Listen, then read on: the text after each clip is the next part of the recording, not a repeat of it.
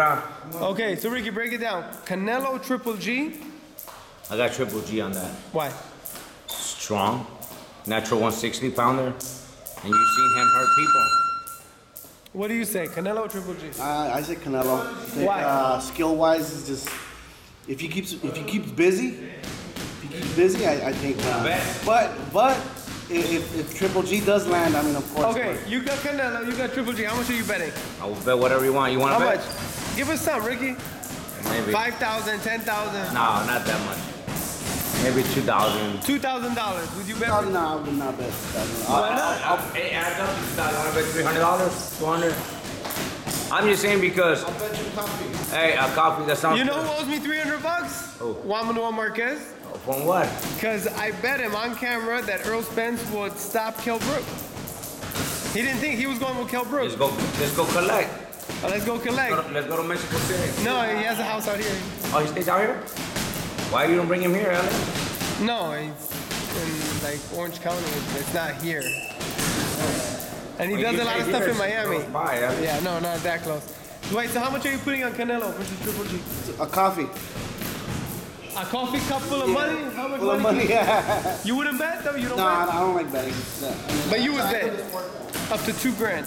Uh, Abel Sanchez said that Canelo will be the toughest, one of Triple G's toughest fights. Yeah, I believe so too. But see, a lot of people misunderstand that that Triple G got skills. He got great skill. He could box. You saw what he did to. Uh, he put a boxing clinic on on. Uh, what's that guy's name? Uh, he just jabbed. His, the whole movie, the whole fight. Which guy? No, he just. Oh, David Lemieux. David Lemieux. Yeah. You know, just to prove a point. Well, he didn't just jab him; he stopped him. But I think I think if we fight again now, I think it'd be different. I mean, if, you got Lemieux over Triple G right now? not over, not over. But, Any, but I, I, think- I think- once you lose a fight, every other fight's gonna be different. yeah, 'cause It's like, what do you think, Mayweather? If, if Canelo and Mayweather, what would be the difference? Mayweather still whoop on uh, Canelo. You know, I mean, he'll look better, yeah. But I think uh, Canelo, uh, Floyd will still beat him. Yeah, but I think uh, uh, the fight that he had with, with Kell Brook was, you know, he had some trouble. Everybody has a bad day. It's like, it's like, it's like, uh, it's like, what's his name? I'm saying that as far as the type of fighter. Yeah, like, like what's his name? That fought uh, uh, Errol Spence. He didn't look that great on Kell Saturday. He didn't look that great. He looked fucking badass when he fought uh, Algieri.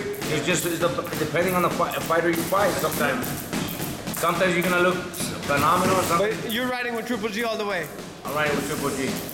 You're riding him. That's right, like you, like you, like you ride Floyd.